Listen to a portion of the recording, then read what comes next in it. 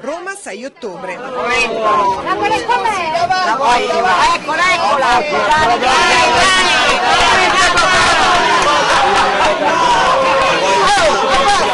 La Presidente della Regione Lazio Renata Polverini in bocca al leader del Carroccio Umberto Bossi, una bella forchettata di rigatoni con la pagliata, tipico piatto della tradizione romana, per chiudere lo scontro tra leghisti e romani, mentre il sindaco della capitale Gianni Alemanno addenta soddisfatto una porzione di polenta col formaggio, davanti a Montecitorio il banchetto riconciliatore. Renata Varese Malpare. Ecco, allora è una cosa seria. È una cosa seria, rispetto reciproco e costruzione della nuova Italia, unita e federale.